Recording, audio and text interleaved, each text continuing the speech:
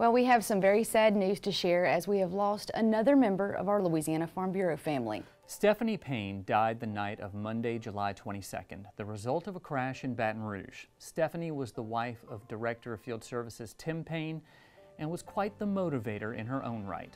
Following the sudden and tragic death of their daughter, Savannah, less than three years ago, Stephanie began using her experience during that ordeal and as a school psychologist to speak to groups about surviving and thriving after tragedy.